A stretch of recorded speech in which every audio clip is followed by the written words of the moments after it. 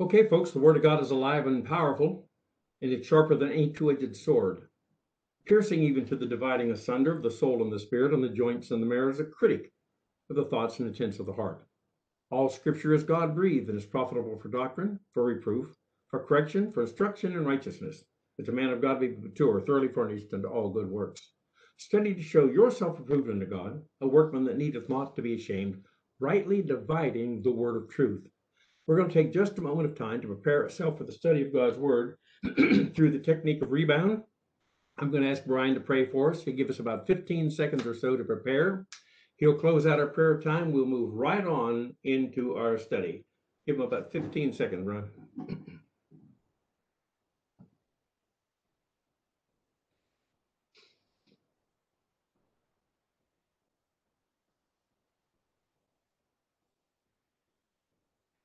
Father, we have uh, a lot to be thankful for to come to the uh, beginning of the week and uh, study the Word, and a lot, lot going on in the world around us. Uh, and just if you can just take a look at what's happening and uh, the truth, and looking into the truth, and understanding the backdrop of the angelic conflict, and and and looking at just uh, how how the times we're living in, Father, that we need need to lean on the promises, the Mhm. principles, the doctrines, the techniques, and the rules for living.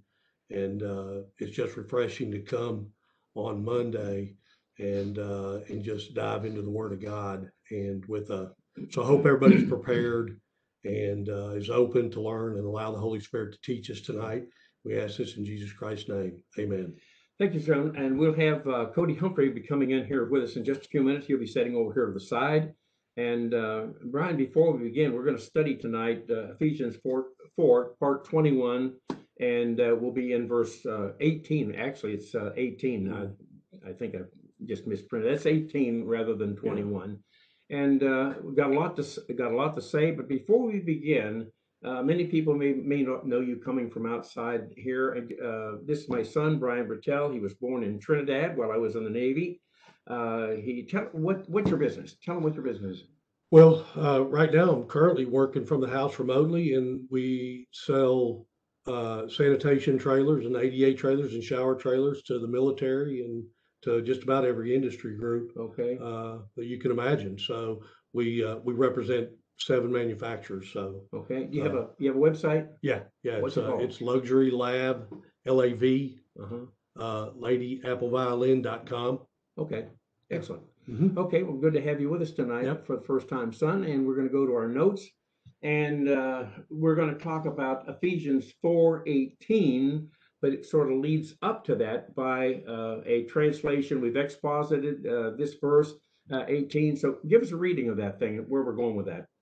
Okay, uh, having become darkened in their way of thinking, having been estranged, estranged, alienated, excluded from the life of their God because of their ignorance, which keeps them on being in them because of the hardness of their heart, scar tissue Mm. in the subconscious mind located in the right lobe of the soul's mentality. See, and that's where we're coming from. We we know that Paul's been talking to a group of born again believers who grew up in a in a reversionistic, unbelieving society. They've Mhm. taken on all that false information, living with human viewpoint. Now they become a born again Christian. They believe the gospel, and Paul is challenging them to get off that road to reversionism. Now, interestingly, after having finished this uh, session yesterday, we got to the point where we had run through the verse, but we had some extra things we need to talk about. And what we're going to do is start with Isaiah's commission, and we're going to go back into the Old Testament mm-hmm. in many passages of Scripture to read where God was actually dealing with the Jews who were under the law, but they were mm-hmm. living a, a, a- they were living a a legalistic life, Reversionistic. yeah, a reversionistic life. And uh, Paul, uh, I mean Isaiah, has been commissioned by God to go out there and Mhm. preach the gospel to these people. And the interesting thing is, when we see what he's saying to them, we're going to look at our country just like you prayed. And good grief, you'd think we were talking about Israel. Mhm. So why don't you start there, son, and read through this verse? And uh, there's some bracketed information here that explains what it is we're talking about. So go ahead and read that for us. Okay. Uh, then I, Isaiah heard the voice of the Lord saying, Whom shall I send, and whom will go for us? Mhm. Then I, Isaiah, said, Here I am, send me. Yeah. He said, Go and tell the people, you Hmm. keep on listening, but you do not perceive, you keep on looking, but you do not understand. Isaiah rendered rendered the hearts of this people insensitive, Mhm. their ears dull, stupid, insensitive, insensible, Yeah. and their eyes dim, unfit to devote time to the truth. Otherwise, they might see with their eyes, hear with their ears, understand with their hearts, and return and be healed, which is restored, recovered, and pardoned. Excellent. Now watch this. Isaiah is being commissioned by God. he says, "Look, I need somebody to go with me. Uh, go, go preach to these people. Who's going to go?" He said, "Okay, Lord, send me." Now watch here. He says, "Here I am. Send me." And God is telling Isaiah, "Go tell this people." Now watch what He's going to tell them. Isaiah is going to is going to uh, talk to the people of Israel, and if if we brought this down to a contemporary time right now, it Mhm. would be like you or me saying to the people out there, here's what he says: Go tell the people, keep on listening.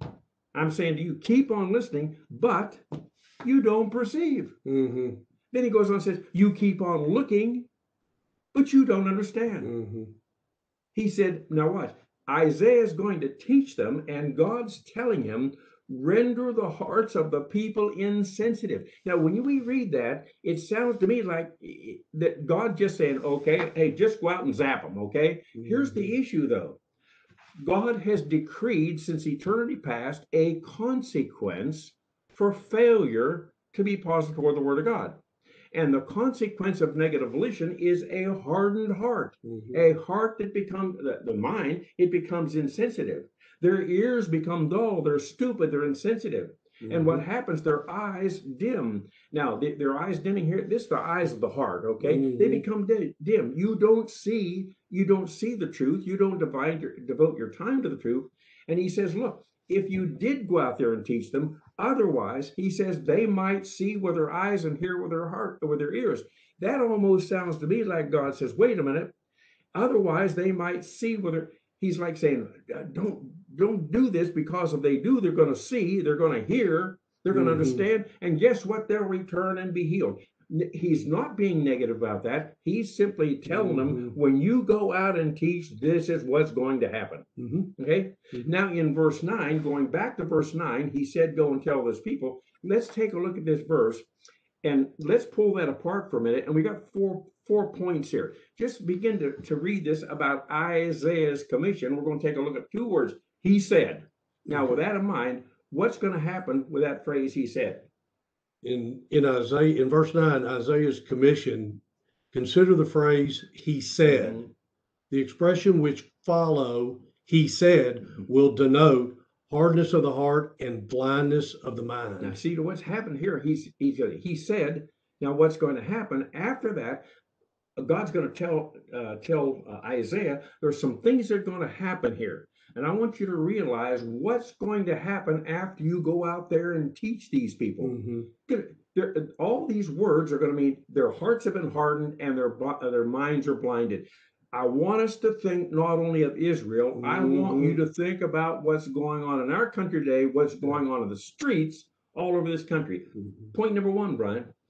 The Jews would hear the words of Isaiah, but they would not understand him. See, in this what's happening today. Much preaching Mhm. is being heard, but but many people are not understanding it. It's a good example. Point number two.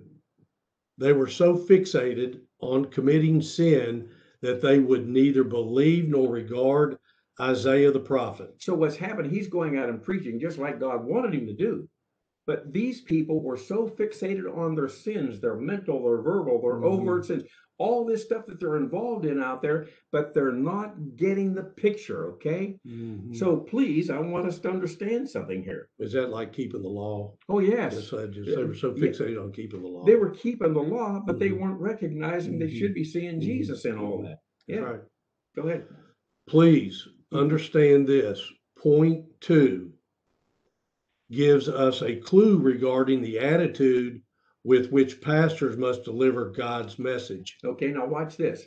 They're so fixated on committing sin Mhm. that they're not going to believe or regard what the prophet's saying. So, what I want us to do here is th- this is going to give us a clue as to the attitude of the pastor Mhm. that's going to deliver the message. For example, if Mhm. we knew that everybody online with us here on, on WebEx, if we looked at the people on Facebook right now and we knew that everybody that's online with it is not going to hear, they're not going to listen, what's our attitude? We might say, heck, why don't we just go fishing or something Yeah, like Come on in, Cody. Yeah. Why don't we just give it up? That's right. See, why not just Yeah. give up? Get your seat over here and just uh, get over here where you can see us, okay? So, so here's the issue. Why not just give up? Mhm. But what we want to understand is if you're going to go out and preach, if I'm going to go out and preach and teach the word of God, we know the people are not going to listen. Guess what?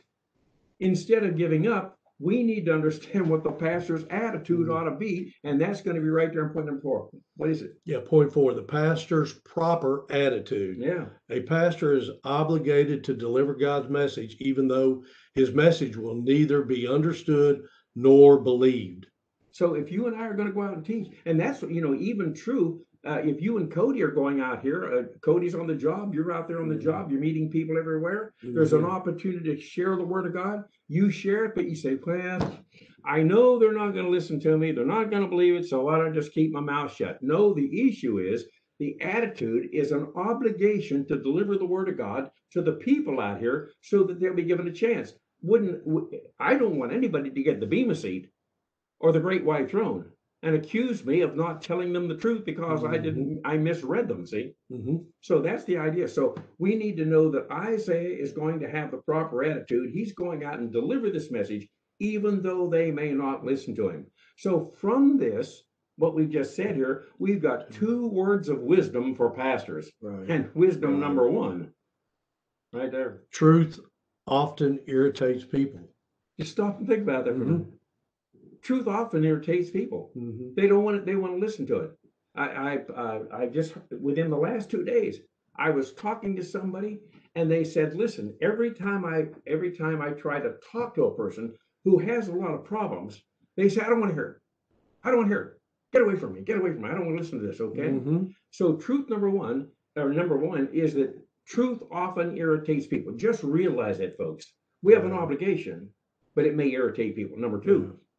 Nevertheless, truth must be proclaimed. So it- just because people Yeah. are going to be irritated doesn't mean you keep your mouth shut. Yeah.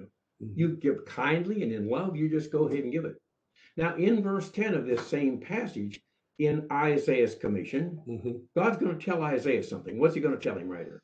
In Isaiah's commission, God tells Isaiah to go and proclaim the truth, knowing that the truth will irritate, provoke, which is cause them to complain and in, and enrage the people who will hear this message. See, we're going to see we're going to see example after example of this. Yeah. Isaiah's going to go out and teach. That's Mhm. what God wanted him to do. But he knows that when he goes and does this, the people are going to be irritated. We saw the Jews, uh, they, they wanted to kill Moses. Look what they look what they did to Paul. So the, the, the truth is going to irritate people. We simply need to understand that. There are going to be people out there that accept it. But this word provoke here, knowing that the truth will irritate, provoke, that's the word that we're talking about, meribah. Yeah. We've used this word uh, for years, talking about Meribahing, Meribahing, Meribahing. Well, the Jews had a situation in a place called Meribah. It's a location in a place called Rephidim where they were looking for water, didn't have any. And all they did was complain. They griped here, griped there, griped there. That's what that word provoke means. Mhm. They were caused to complain. And then, while they're irritated because they're hearing the truth, they complained about it. And their message, the Isaiah's message was enraging the people. Mhm. Now, in Isaiah chapter 6, verse 10, that's our verse. Read, go ahead and read that whole verse there. Isaiah 6:10, go and pro- proclaim the truth to a corrupt people, and the result will be that they will not hear. Yeah. They are so wicked that they will not give heed to it. They will become even more hardened, yet go, and the, and and though it is certain to produce these effects, go proclaim it. Isn't that amazing? Yeah, just go proclaim it, go teach it, That's exactly right. He's No matter- procl- go ahead. no matter what the consequences are. That's exactly go, right. No problem. He's going to go and proclaim the truth, and what kind of a people? What kind of people is he going to proclaim it to? What just what- wicked. yes, corrupt, wicked. people. Yes, Mhm. and God knows that. Mhm. But here again, you, you know that that's an interesting thought. If I came to you and said, you know, there's a certain section of town here that really needs the gospel. Well, they're not going to hear you, hear it, what you have to say. They're not going to believe it. But you know, you really need to go and and tell these people so that they won't have an excuse. And honestly, that Cody, that's a good a good issue for us. The issue is when we know that we're going to teach the truth and somebody isn't going to listen. Listen, they've had an opportunity. They will never be able to have an excuse that I didn't know, I didn't hear. So that's why the obligation. So go proclaim the truth to a corrupt people. And he says the result will be that they will not hear. They are so wicked that they'll not give heed to it. They will come, they will come even more hardened. See, they already have a Mhm. hardened heart. Yeah. Darkness, black out of the soul. Yet he says, in spite of that, you go. Even though you know it's going to produce these effects, go and proclaim it. Now, what we have is some more verses then throughout the scripture, some of them in the New Testament, in the Gospels, some in other places, and it's going to it's going to deal with this idea of a hardened heart. And that was what we were talking about in verse 17, 18. Paul says, Look, you're on the road to reversionism. Get off that road. So he's going to tell us sim- something similar to that here in, in the Gospel of Mark. So read Well, verse- this is just giving them, God's sent him and giving them no excuse. So once they hear the truth, right here, Yeah. there's no excuse. that's, that's exactly It's right. once they know you, it's like you don't have any excuse for being uh, ignorant. That's, so that's exactly right. So Mark 3 5, what does that say? after looking, Jesus is the one who is looking Mhm. around at them, the Pharisees, with anger, righteous indignation, grieved at their heart hardness of heart, which is scar tissue of the soul. He said to the man, "Stretch out your hand," and he stretched it out, and his hand was restored. See, this is just another passage where in the, in the in the ministry of Jesus, Mhm. he's out there teaching, and we're gonna see, we're gonna see some of the things that Jesus did, and as a result of all that, you Mhm. sh- you sort of sh- shake your head and say, Mhm. "I can't believe that they missed, this Missed it, fact that as the it. Messiah." Mhm. But see, Jesus out here, he's looking around and he's and he's, he's looking at these Pharisees out here. See, these Pharisees are legalistic, religious, unbelieving Jews who think they're on top of things. These are really, really legalistic people. They think that everything's okay with them, and they're missing the whole boat because all they're doing is seeing uh, Judaism as a, a, a basis for keeping the law, while while missing that Jesus is the Is the Messiah. Messiah. Now, I've indicated that when you take that and make a comparison to Christianity today, while the Jews were missing Jesus as the Messiah, we as born again Christians, millions of us, are missing the fact that unless you're living the Christian life in the sphere of the Spirit, it's all worthless. Mhm. It's all worthless. Now, the, the sad part about it is that Jews are going to lose their salvation, or not lose their salvation. They won't be saved. But Mhm. for us, we lose our blessing in time and reward in eternity. Mhm. So here he is. He said he, he's grieved. Jesus is grieved over the fact that these people have hardened their heart. They're not hearing anything he's saying. Now, how about Mark 6:52?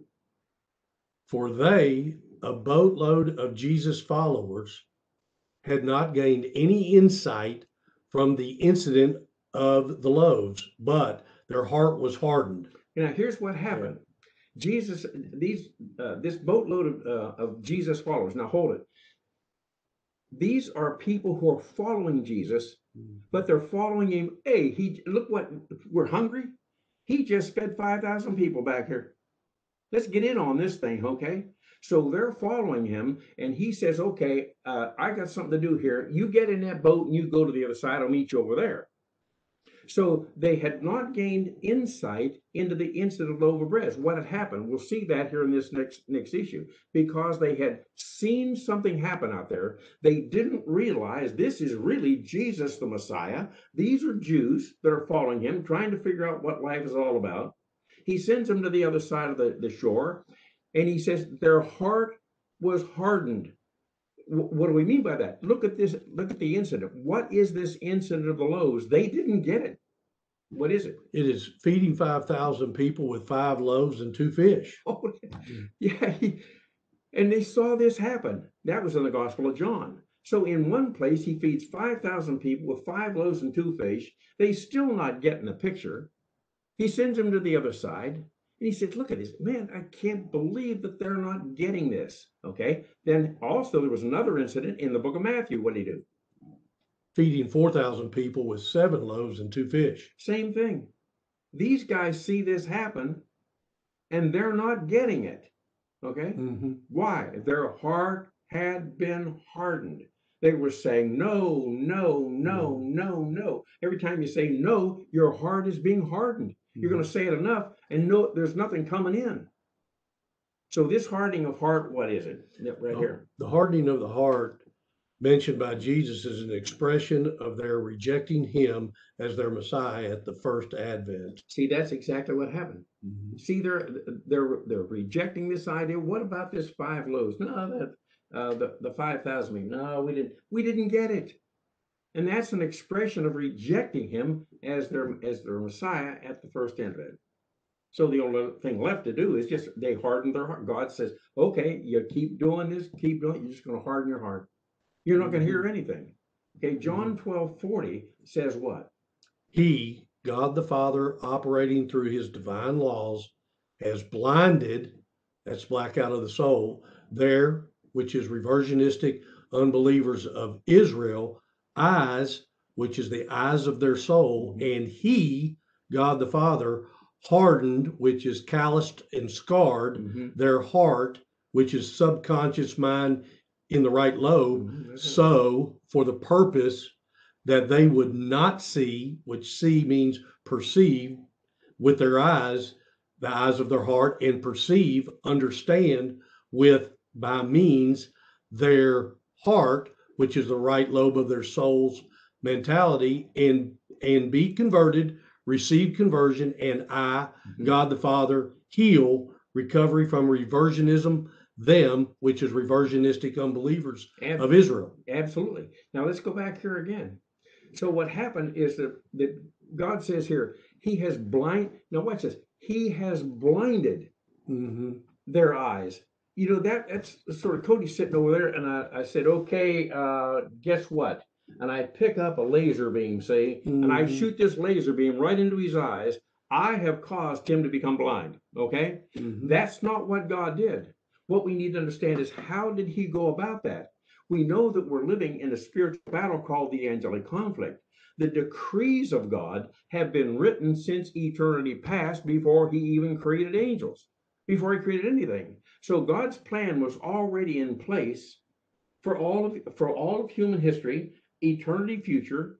Now what happens is man is being born then and, and after Adam was created, we're born with an old sin nature in every cell of our body.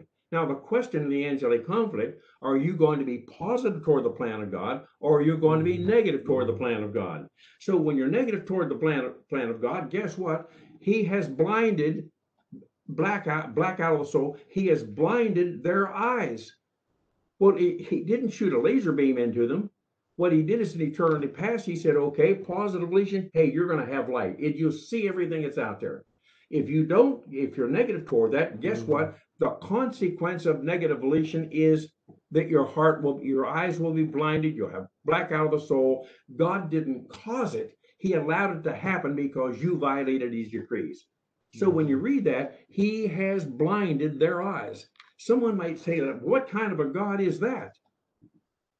He blinded these people's eyes. They need to be able to see, and he blinded them. No, they did it to themselves because this is the plan in the angelic conflict. And this is why I say time and time again, Cody and Brian, this the, unless you understand the angelic conflict, how in the world could you accept the fact that God is out there blinding the eyes of anybody? You, you see what I'm saying? Mhm, mhm. Yeah. And he hardened their heart. See, the Mm-hmm. same way. How did he harden their heart? The plan is if you violate the plan of God, you do this to yourself. He hardened their heart. And what was that? So that they would not see with their eyes and perceive with their with their heart And what are they going to perceive? They're going to perceive the gospel, be saved, and be converted. Mhm. The Messianic Jew. Yeah, and he and he would heal them in the sense that Mhm. he's going to heal them from their reversionistic reversionistic lifestyle. Mhm. It's not heal them physically; he's healing them spiritually. Why? Because they were turned on to the Word of God. They did the right thing in the right way. Mhm. Okay. Mm. Now let's summarize that verse twelve forty, point number one, with a couple of bullet points. Go ahead, pal. Okay. The Jews in the time of our Christ's earthly ministry followed the same pattern as the Pharaoh of Exodus. Okay, now watch this.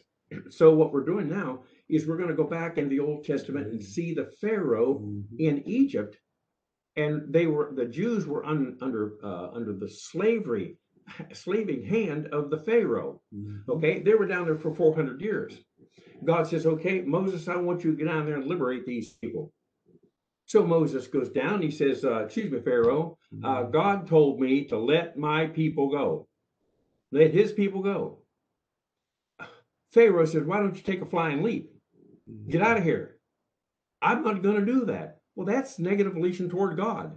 Now, what happens when we understand the fact that this is what this is what the Pharaoh was doing? He was negative toward God's plan. Guess what? We take a look now and see the Jews are doing exactly the same thing. They're following the same path that Pharaoh did. They are negative toward plan of God for their lives. So read at point number one and give a give us a couple of bullet points there. Okay, uh, the Jews in the time of Christ's earthly ministry followed the same Yeah. pattern as the Pharaohs, the Pharaoh of Exodus, negative volition towards God. Yes. The, Pha- the Pharaoh was negative towards God. The Jews during Jesus' earthly ministry were negative towards him. See, it's the same pattern. Now, what we're doing, we're getting a great big picture of what of what it was like when Paul's coming along now, and we're in we're in Ephesians, and Paul is Mhm. talking to a group of reversionistic believers about having grown up in a in a negative, uh, unbelieving reversionistic society Society. and tell them this is where you get all this. Now you need to understand. I'm giving you some information to get off that road and go the right way. But the Mhm. question: Are you going to do the same thing the Pharaoh did? Are you going to do what Mhm. everybody else is doing? No, that's not what we need to do. So point number two, we're going to see another verse then, and we're talking about this idea of the Pharaoh saying no in Exodus 10, 28. 10, 28, what do you say? Then Pharaoh said to him, Get away from me. Beware. Do not see my face again, for in the days you see my face, you shall die. See, this is negative volition. Yeah. Negative volition toward God. He said, Mhm. Look, get away from me. The Jews are saying the same thing to Jesus about uh, Paul comes along and he's teaching them the grace gospel. He said, Get away from me. We don't want to hear any Mhm. more of that. We find that Paul, before he became a Messianic Jew, he was killing people who were saying Jesus is the Messiah. That's negative volition. And what I guess what we're wanting to see here is to try to recognize something about what negative volition is. And it's not always going out and, and killing somebody or doing something really severe or horrible out there. Listen, just saying no to God is about as horrible as you can get. Mhm. So don't see my face again. From the day you come, if you come back to talk to me about this one more time, you're a dead man. That's negative volition toward God. He won't let the people go. Exodus 5 2. But Pharaoh said, Who is the Lord that I should obey his voice to let Israel go? Mhm. I do not know the Lord, and besides, I will not let Israel go. See, So this is he's just saying he's not going to let Israel go. that's right. See, and that and God wants them to be delivered. He will get them out of here. Mhm. They've been down there for 400 years, Mhm. pleading, pleading, pleading, pleading. And remember, the reason God left them there is because He says the He was He's going to take them out of Egypt, going to bring them through the through the uh, through the desert, and get them into get them into Canaan, get them into the Promised Land that He promised them. He so He brings them He brings them out of Egypt. Good grief, they get to the Red Sea and find out they can't get across there. They think they're going to die. God opens up the Red Sea, takes them into the takes them into the desert. Now we don't have the water's bitter. There's not enough water. That kind of thing. What are they going to do? They're going to complain, complain, complain, complain. That's where we're going to see this idea of meribahing. Okay. So he said, and Pharaoh says again, Who's the Lord that I should obey him? Hey, what are you got to be kidding me? Mhm. And he's telling me to let the people go. He says, I don't know who your Lord is, and I will not let them go. Again, negative volition. Now, what are we doing? We're showing the pattern of Pharaoh is going to be enacted out here by the people that are alive in Jesus' generation when he comes on the scene. Okay. Mhm. Now let's con- let's consider this next point. Now consider the miracles of Jesus that should have called Jewish attention to the fact that Jesus is their Messiah, but the light did not turn on. So what's going to happen now? What we're doing is we're we've come away from the Pharaoh. We've seen the negative volition there. We've seen now that the pattern of the Jews in Jesus' day, when he was in his public ministry, these Jews are reacting the same way Mhm. Pharaoh did. Okay. Now what happens is we're going to see something that Jesus did, and if I don't know if you were if you were alive at the time Jesus was in his public ministry, I don't know what how we how you'd react, or I I just say, look, when I see this, he says, I am the Messiah, and he heals somebody. He says, I am the Messiah. He raises somebody from the dead. He said, I am the Messiah, and he unstops somebody's deaf ears. He says, I'm the Messiah. He stops, he opens up somebody's eyes that's blind. I say, wait a minute, I think I'm getting it, Lord. Yeah. You must be the Messiah. Okay? Mhm. Now, watch what happened. We're going to consider then some of the miracles that Jesus is going to use. Just read that whole point one more Yeah. time. Uh, uh, four. Point number four. yeah. Okay. Now consider the miracles of Jesus that should have called Jewish attention to the fact that Jesus is the Messiah. Yeah, absolutely. Now, uh, read this next point, and then we're going to give some miracles. Go ahead. Okay. According to the four Gospels, Mark, or Matthew, Mark, Luke, and John, here are the miracles Jesus performed during his time on earth. Hmm. For the most part, Christians know that Jesus performed many miracles, but may be surprised to learn of some of which we didn't know. That's right. So, what we're going to do now is talk about, uh, we're going to mention a, a bunch of miracles. So, if you were living in that point in time and you're Uh. following Jesus, there are several clues here that should say to you, wait a minute, this is the Messiah. Messiah. And we're going to find out that 40 years later, he's going to drive, God's going to drive Israel out of the land because they had rejected right down to the end to where he couldn't, let, he couldn't take it anymore. Get out of here. And that's why we're here preaching because Israel failed. Now let's see some of these some of these uh, miracles then. And um, Brian's just Brian's just going to read the list, but we're not going to read the verses. You can see those and you can read them if you want to after. We want to move through this to show the miracles that Jesus performed during his three years of public ministry that ought to given somebody a clue of who he was. Go ahead and start to read, bud. Okay, uh, number one, uh, Jesus changed water into wine. Jesus cured the nobleman's son. The great haul of fishes. Jesus cast out unclean spirit. Yeah. Jesus cured Peter's mother-in-law of fever. Jesus healed the leopard. Uh, Jesus healed the centurion's ser- servant. Jesus raised the widow's son from the dead. Jesus stilled the storm. Jesus cured two Demoniacs. demoniacs. These are people. These are people who are Demon demon possessed. possessed. Yeah, sure. Uh, Jesus cured uh, the paralytic. hmm Jesus raised the ruler's daughter from the dead. hmm Jesus cured a woman of an issue of blood. Mhm. Jesus opened the eyes of two blind men. Jesus loosened the tongue of a man who couldn't speak. Jesus healed an invalid man. It's an, inv- an invalid. an- An invalid. Mhm. okay, invalid man Mhm. at the pool called, called Bethesda. Bethesda. Jesus restored a withered hand. Jesus cured a demon possessed man. Jesus fed at least 5,000 people. Jesus healed a woman, the, a, a woman of Canaan. Uh, Jesus cured a deaf and mute man. Mhm. Jesus fed at least 4,000 people. Jesus opened the eyes of a blind man. Jesus cured a boy who was plagued with a demon. Jesus opened the eyes of a man born blind. Jesus cured a woman, a woman who had been afflicted 18 years. Jesus cured a man of dropsy. Mhm. Uh, Jesus cleansed 10 leopards. Uh, Jesus raised, raised Lazarus from the dead. Jesus opened the eyes of two blind men. Jesus caused the fig tree to wither. Jesus restored the ear of the high priest's servant. Jesus rose from the dead.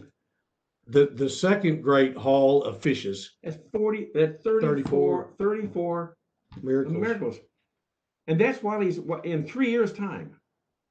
He's in his public ministry, walking around, and these the people everywhere are rejecting it, rejecting it, rejecting it, rejecting it. By the time you get to Pentecost 30 AD, he's got a room full of people. That's all that's left. It's amazing.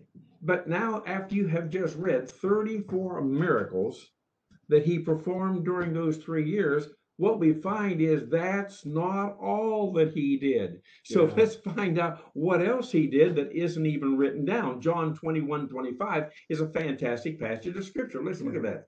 And and there are also many other things which Jesus did, which if they were written in detail, I suppose that even the world itself would not contain the book that would be written. That's scripture. Yeah.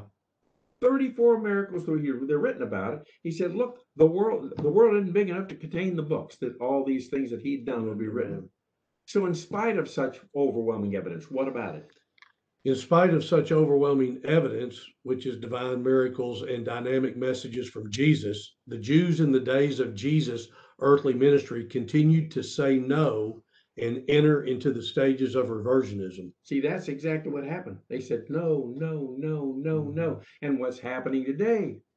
We find Say that no. no, no, no, no, no. It's amazing. Uh, there was um, uh, there was a um, a panel of Hispanics, Latinos, meeting with the with the president just a little while ago, and one of the ladies that spoke uh, is a teacher, and she was talking about. She was absolutely fantastic, talking about the the education system in our country, which is what I've been trying to tell people about for such a long time. One of the failures in this country is not just the pulpit, our public school system and our colleges are failing because they're actually brainwashing our kids with progressive kind of information, Marxist kind of information, and our people are just sitting back here like, uh, we don't really know what's going on. I got this wonderful child that's out in college, but we don't have a Yeah. clue as to what they're learning.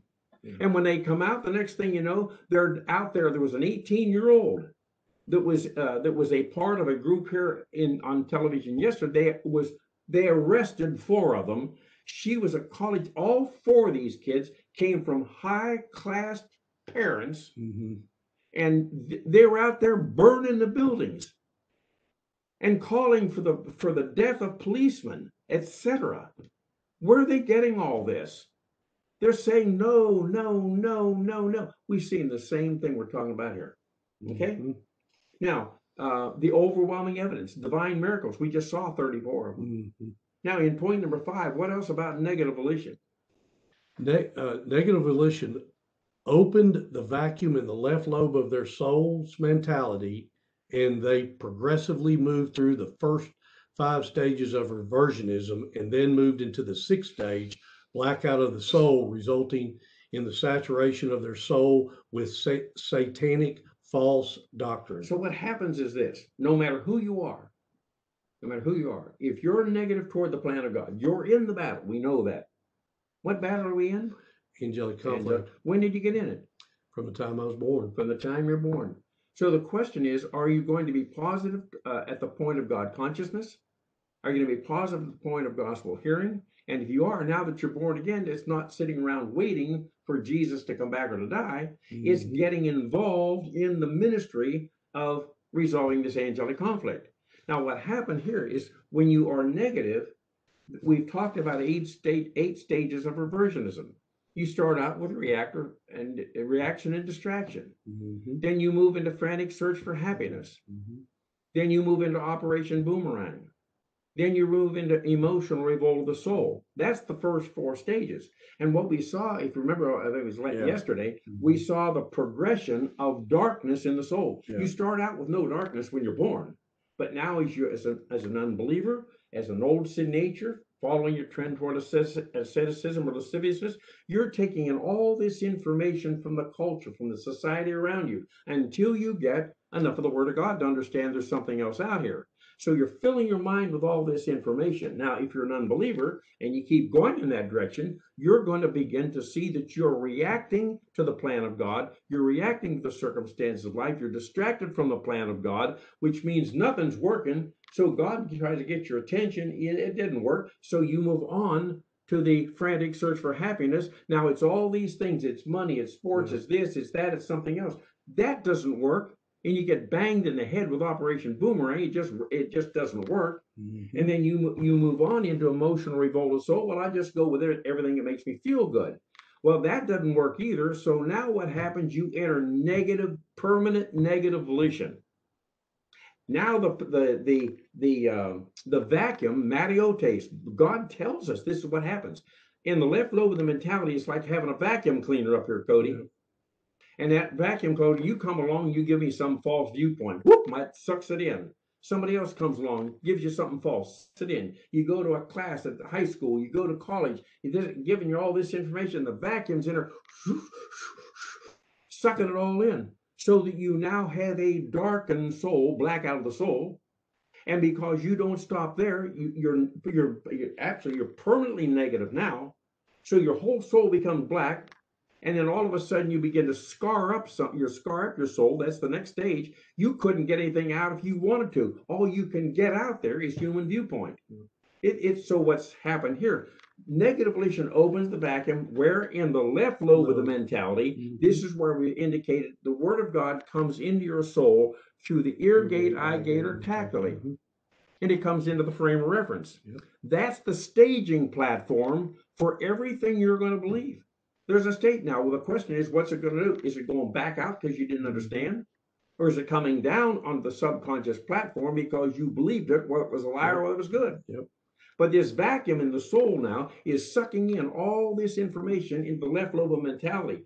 And they progressively moved through the first five stages of reversionism. And guess what? Then they moved into the sixth stage. You're at five, you're ne- permanently negative toward doctrine, toward the word of God. So Mhm. now you have a completely blacked out soul, which leads you then into the next stage, which is scar tissue of the soul. And again, here, stage six, black out of the soul, resulting in what? saturation of their soul with satanic false doctrine. That's right. Mhm. Satanic doctrine. That's false doctrine. It's the lies of life. Now, in point six, you've reached you've reached black out of the soul. You are you are permanently negative toward the word of God. This is where you said no, no, no, no, no, no, no. That's what Pharaoh did.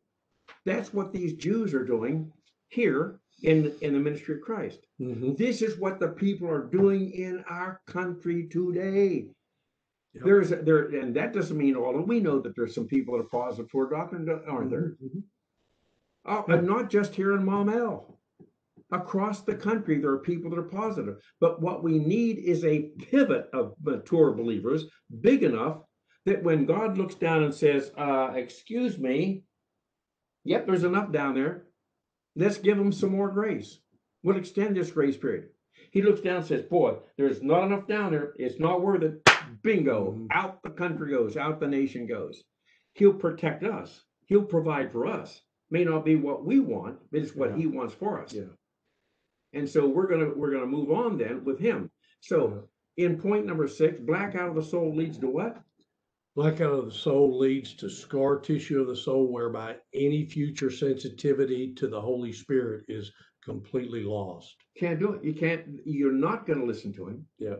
You, You toss, can't. You, go ahead. toss out the agent that, that is Yeah, that teaches you and that's exactly confirms right. and bears witness with your heart. That's exactly Mhm. right. And that's because of negative volition, negative volition, negative volition. So, what we need to understand is your children, my children, our children, your grandchildren, your parents, when you look Mhm. at them, when you look at what's going on, one of the people in that Latino group today, they said, Look, it, it was amazing. There, it was a particular man. I didn't know what his name was, didn't catch it, but he was so, so eloquent. And he, he said, Listen, we are not dealing with our children. We're not raising our children properly. He said, so the the, the parents and they're failing. if the parents fail the kids, the kids are going to fail. There's nothing nothing can happen. Now, the kids fail, guess what? They go out and listen here, listen there, listen there. And now what you see is what's going on across this country. And I would suggest to you that when you look, and we talked about the state of California, the state of Oregon, the state of uh, the state of Washington, th- it's on fire. I talked to a cousin last, uh, last night. He's in Chatsworth, California. He talked about what's going on there. I talked to, uh, to Roby and Angela Harris in Redding, California. They're talking about what's going on there, the smoke, and it's amazing. That's three states. Now you look down and you see Texas, Louisiana, Alabama, and Florida about to get blasted with another hurricane. Do you not understand that God is involved in this? He's not causing it, but negative Allowing- volition. Allowing it. He's allowing it. That's exactly right.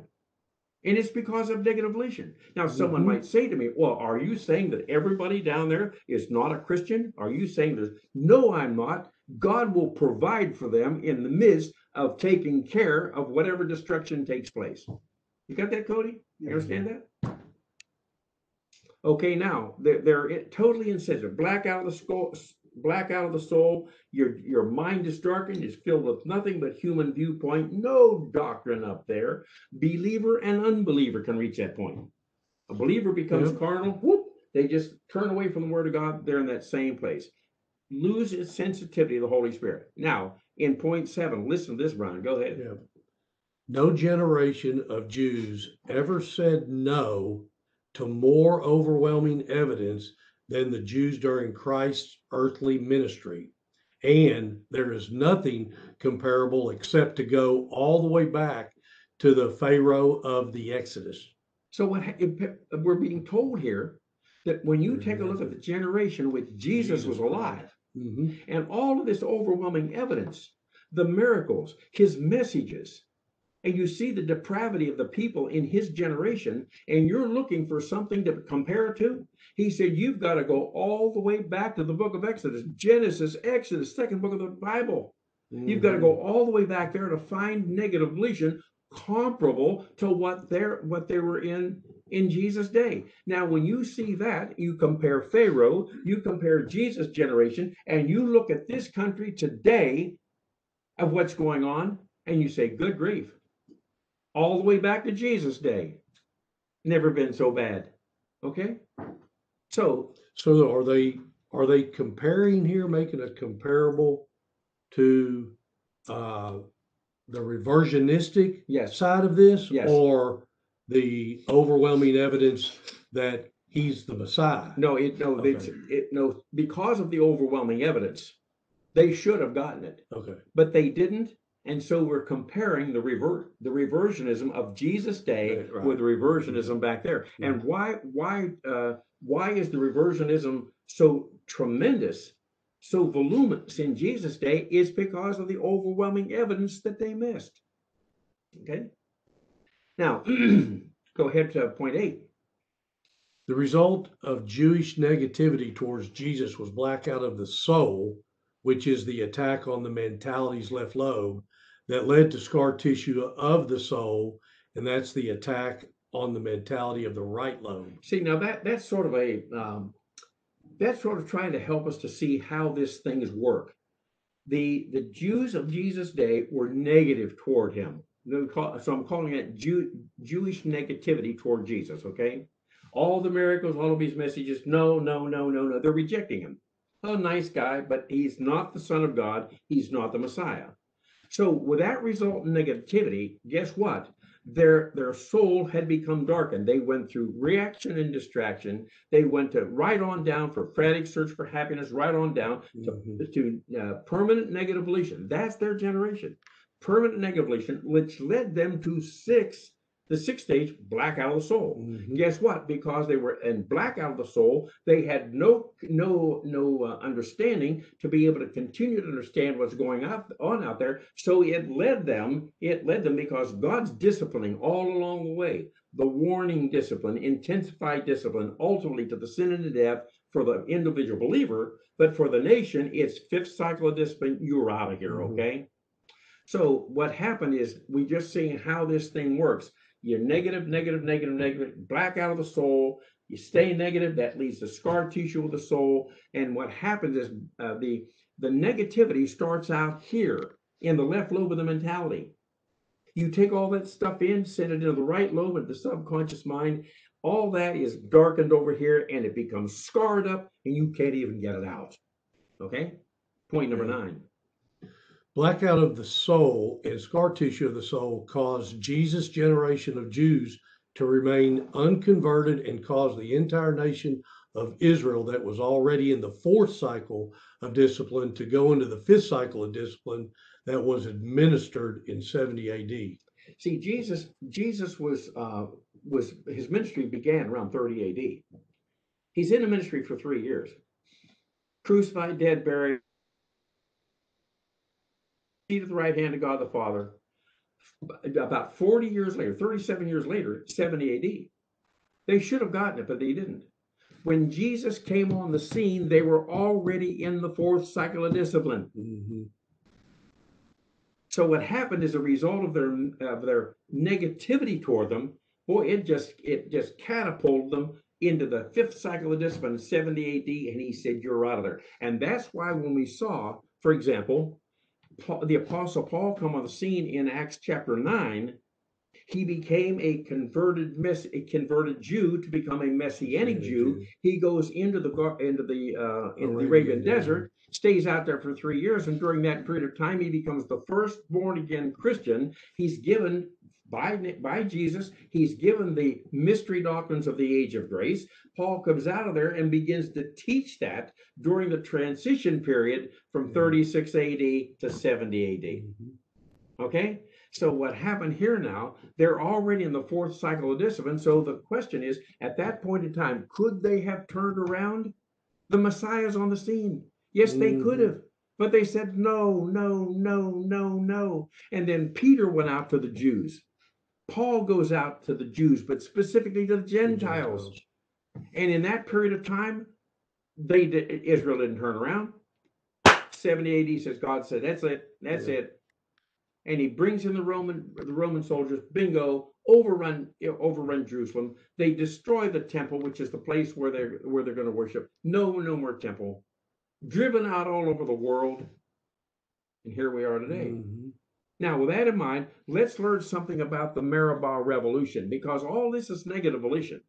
But we're going to go back all the way back to the time of Pharaoh, Moses in the garden, uh, the Jews coming out of, out of Egypt and crossing the Red Sea, etc. So we're going to go back and take a look at the Meribah resolution, revolution. And if you don't Mhm. know what the Mar- word Meribah means, right, hang on, we're going to give it to you. So where it began, this the Meribah Revolution, where it began. Here it is in Exodus Mhm. 17 and following. Go ahead and read that passage. The whole Israelite community left the desert of sin, moving from one place to another at the command of the Lord. They camped at Rephidim. Rephidim, but there was no water there to drink. They complained to Moses and said, "Give us the, give us water to drink." Moses answered, "Why are you complaining? Why are you putting the Lord to the test?" Hmm. But the people were very thirsty and continued to complain to Moses. They said, "Why did you bring us out of Egypt to kill us and our children and our livestock with thirst?" Moses prayed earnestly to the Lord and said, What? Okay, now we're gonna that we're gonna he's gonna say something else there. We're stopping right there. Okay. Okay, now here's what happened. Let's look at this. The Israelite community left the desert of sin. Now, what they, they they've come out of they've come out of Egypt. They're on their way to the promised land, and they're in this desert called sin. That doesn't mean that that's not personal sin. That's just the name of the the, the Yeah, area where they yeah. were. So they were in the desert of sin, and they moved on from there, and they went to another place after uh, to, at the command of God. God says, "Okay, leave here and go on over here."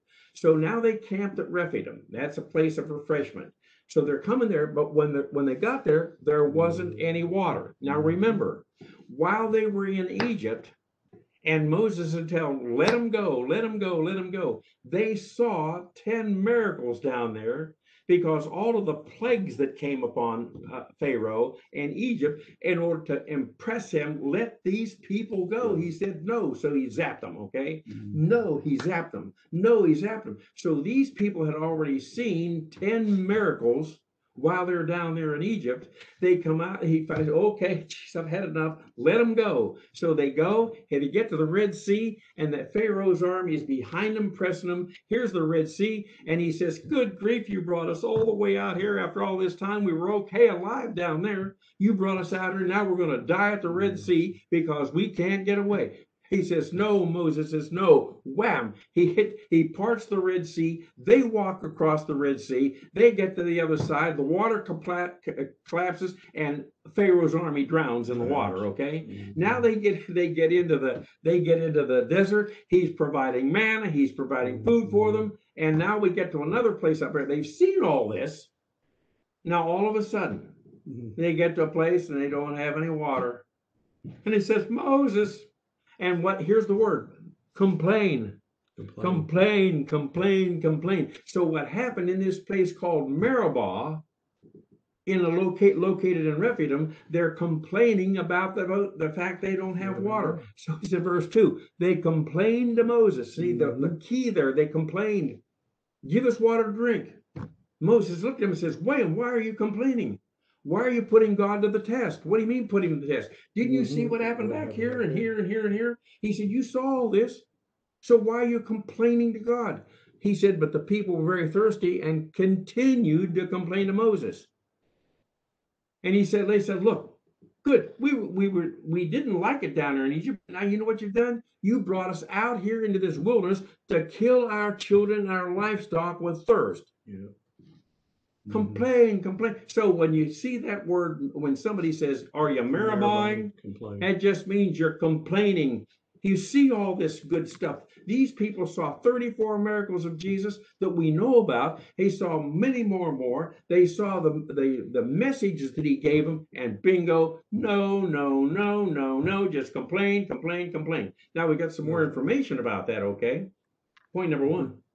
The Meribah Revolution is discussed in Psalms 95 8, where the word provocation means Meribah. hmm This word is also used in Hebrews 3 8, 3 15, and 4 7. Okay, and that's the word Meribah. And what does Meribah mean? Means what? Complain. Means complain. Now it's translated provoke in the in the in the scripture, okay? But it means to complain. Mhm. Now we said we talk about Psalm 95 verse 8 where the word Meribah is used. Read that Yeah. for us. Do not harden your hearts as at Meribah, provocation, complain, complain, complain, and then complain some more, Yeah. as in the day of Massah, Uh-huh. temptation Yeah. in the wilderness. So Massah and Meribah are often seen as the same thing. It, it Yeah. appears it appears as though they're the same place, but in other places it appears as though they're two different places. But what happened is at Meribah on one occasion they were complaining, complaining, and complaining. In this Massah they were tempted in the wilderness. Okay, Mhm. so here's the issue. Do not harden your hearts because what happened is because they didn't have the water, they weren't getting what God wanted. They were uh, what they wanted from God. They're complaining, compl- and all that complaining is adding to the negative, to their the hardness of their heart. Okay. So now in Hebrews 3 8, we're going to get this same kind of an idea provoked. Now go ahead from there. Do not harden your hearts as when they provoked me, as in the reversionistic revolution, as in the day of the trial, testing in the wilderness. So what happened while they were in the wilderness, they were being tested because here's the water, here's the water. Yeah. They're going to have to test God, uh, test. Uh, they're going to have to prove themselves because God's going to take them into the promised land. He's going to take them into Canaan, and guess what? When they get there, they're going to have to battle the people that are in there. Okay, Yeah. so they're going to have to learn to trust God. So he says here, "Do not watch this. Do not harden your hearts as when they provoked me." That's saying God's been they're they're provoking God. No, what what that means is they were complaining against God. Do not harden your hearts as when you were when you were complaining about me. I'm not giving you the water. I'm not giving you what you want. Okay. Mhm. And he says this provoking, this complaining was took place as in the day of trial testing when you were in the wilderness. You got there, you didn't have water. You got there, there was bitter water. You didn't got there, there wasn't enough water. It was water, water, water. They're complaining. They're complaining about their food. Okay, Lack of faith. that's exactly right. Now for Hebrews three fifteen. Hebrews three fifteen, while it is said, today, if you hear his voice, do not harden your heart, and when they provoke me. As when yes, As as, when they provoke me. See, he's going back and talking about that same rebellion. Mhm. They're rebelling against God. How are they rebelling? They're complaining, complaining, complaining. Because they're not getting what they want. That's exactly right, Brian. So today, if you hear his voice, and what do not harden your hearts as when they provoke me. See, God isn't provoked. Mhm. What that means, they're complaining against God. That's the idea there. How about Hebrews Right. 4 7? He again fixes a certain day, today, saying through David after so long a time, just as has been said before, today, if you hear his voice, do not harden your heart. There you go. Now let's now we just talk, this is the this is the Meribah Revolution. So we, we've seen some verses where the Jews back in the are provoking uh, they're they're they're complaining about God. Okay, now let me point out something. We're talking about Yeah. we're see we're talking about an a- application there's to A today. modern day application. That's right. So we see what we see what Pharaoh did, we see what the Jews did, and darn if you don't come into today and find the same thing is happening in this client nation. See, that's the thing, Brian Yeah. and Cody. The United States of America is a client nation to God. We're doing exactly the same thing. So what are we complaining about? That's exactly right. Mhm. So let's take a look. Let's summarize the Meribah Revolution. Here it is, point number one. The Meribah Revolution is reversionism among believers in Exodus 17, 1 through 4, in contrast to unbeliever, unbeliever reversionism. Now watch this. We've we talked about. Um, I, I'm not sure we've talked about Nebuchadnezzar yet, but we're gonna No, we we're gonna say okay. We're gonna see some some unbelievers in reversionism. But what we're talking about here, this is not unbeliever reversionism. These are believers who came out of Egypt. Everyone who came out of Egypt was a born again believer, not a Christian, but a born again believer. So now what happens in this Meribah revolution, after all this time, these born again believers are complaining against God. And so what we're trying to show is in the passage, Exodus 17, 1 through 4, we're Mhm. contrasting a born again believer who is reversion is reversionist as opposed to an unbeliever. We're contrasting them. Now look at the so here are these believers, they are in reversionism. Okay, point number two. Reactor factors were manifested at the first Meribah in Exodus 17, verses 1 through 4. So here's the issue. If you go back to if you go back to this passage now in 17, 1 through 4, we're going to see these Jews, they are complaining about what we talked about a little while ago. Mhm. They're complaining, complaining, complaining. That's the first Meribah. And and what they did there, they were reacting, Mhm. reaction and distraction. They were reacting. And what is a manifestation of that reaction? Here it is. Especially what? especially the mental attitude sins, delusion, discouragement, and frustration. Absolutely. This is disillusion. Okay. Disillusion. That's good. Okay. Now, so there, these are manifestations of that reactor factor. Now, what happens then? Reactor factors are going to mm-hmm. produce something else. What are they going to produce? Pro- produce a frantic search for happiness, which was manifested by Operation Golden Calf. Okay. So here's what happened in in Meribah, Rephidim and Meribah, they're complaining because they don't have any water. Complain, complain, complain, complain. Well, that's one thing. But they, while they're reacting, they they're moving along, and guess what? Moses goes up the mountain to get the Ten Commandments. He didn't come down fast enough, and when he finally comes down, they've got this golden calf that they've made, and they're going to worship this golden calf in another way because Moses isn't coming back to them fast enough. To watch this. Yeah. So the reactor factors are going to produce a frantic search for mm-hmm. happiness. The he's gone. They're not happy. We've got to find something that's going to make us happy. So what do they do? It's the story of the golden calf. So read this for us, Brian. The story of the golden calf reveals human nature and the tendency of people to stray away from the devotion to God.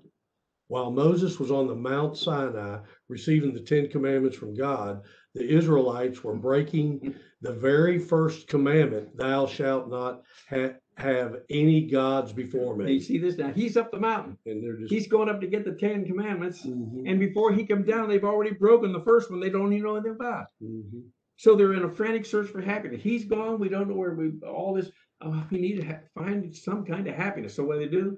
They're go- we're Start what is- complaining. Yeah, watch what happens. Go ahead. This makes it evident why the commandments were needed as people exhibit a, a natural drift towards sin without the proper leadership and a sense of m- morality. That's right. As the Israelites grew impatient with Moses on the Mount Sinai, they decided to make a new God to worship. So they took their gold jewelry and melted it down to build a golden calf. Yeah. God saw that his people had constructed a false idol and his replacement and planned to consume or kill all of them. But Moses uh, courage, uh, Courageous. courageously requested God to relent from the disaster against your people. So they, he's up the mountain. He's going to gone a little longer than they thought he should be. So they say, "Oh, we take they take all their gold and jewelry, they melt it down, they make them a golden calf, and they're going to worship thing." Yeah. God says, "Excuse me, just a minute here, just a second. Yeah. He hadn't even gotten Says. I'm going to kill them all." Mhm. God says, "I can't take this anymore. I'm going to kill them all." Moses said, "God, just a second now. Hold it just a second, please, please don't." And God listened to him, and he relented, and he didn't kill him. Okay? It's his mercy. Yeah. So point number four. The Meribah Revolution was a combination of reactor factors, frantic search for happiness, emotion, revolt, leading to strong negative volition, which caused blackout of the soul, hardness of the heart, which resulted in reverse process reversionism at Kadesh. Kadesh Barnea. Okay, now what? So see what happens? They have now they're not they're not yet where they they want to be. He's still leading them. And what's happened now? They get to Meribah and they start to complain about the water, water, water, and all along the way they're complaining, complaining, and complaining. They're moving through the stages of reversionism. They all get all the way to black, black out of the soul, hardness of the heart, which is scar tissue of the soul. And guess what? By the time they get to that point, they get the Kadesh Barnea, a location, another location. Mhm. It's talked about in, in Numbers 10, verse 11, all the way through uh, chapter 14, verse Mhm. 45. And what happens by the time they get to Kadesh Barnea, he says, Good grief, it's done. I've had enough of all this. God's saying that. So what we see that here then is move on. We're going to talk about that. It can easily be seen that Kade- uh, Kadesh. Kadesh was a ma- was a major turning point for the first generation of the Israelites. Mhm. They failed to trust and obey one time too many, and the consequences was beginning was being denied the blessing of possessing the land of Canaan. Yes.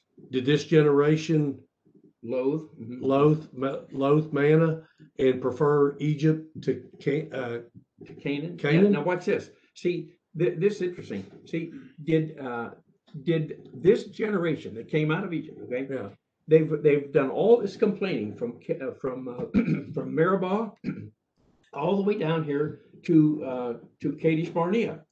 By the time they get to Kadesh Barnea, they're already in uh, scar tissue of the soul. They move through all except the last, except for the last stage of reversionism, and it says th- they. Here's the question: Did this generation loathe manna and prefer prefer Egypt and Canaan? They said, "Listen, Moses, we'd rather be back in Egypt eating onions, onions and and garlic. and garlic. Yeah. Yeah.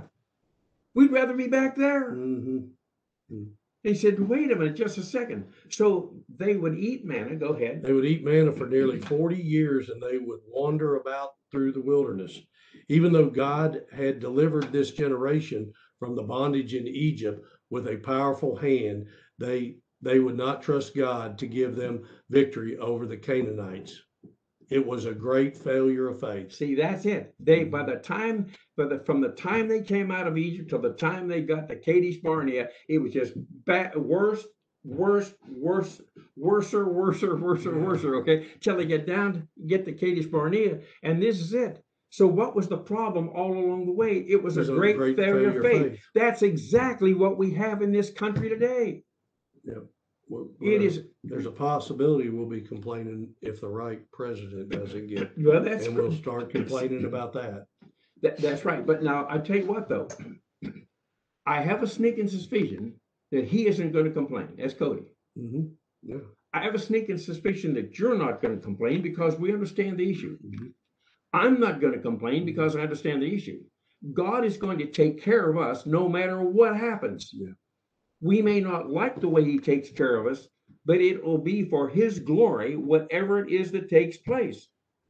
So all along the way, for the Jews back then in coming out of Egypt, it was a failure of faith. Guess what? In the day of Jesus, it was a failure of faith. You look today, right now, it is a failure of faith. Now let's let's keep on going here in the last five minutes.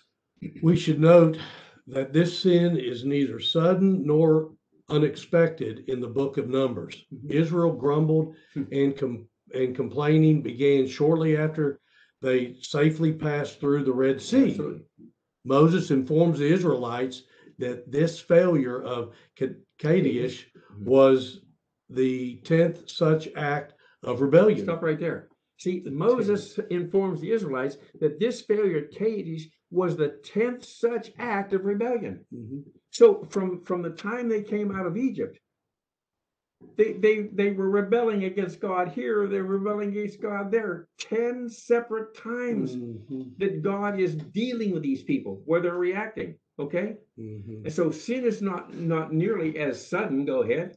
Sin is not sin is not nearly as sudden and unexpected as it may at first appear. Yeah, Israel had developed a pattern of grumbling and, re- and rebellion. yeah. This event was the last straw so far as God was concerned. See, that's the Kadesh Barnea. Yeah. See, he's he he tolerated them here and here and here and here and here. He gets to the point. He says, "Hold it just a second.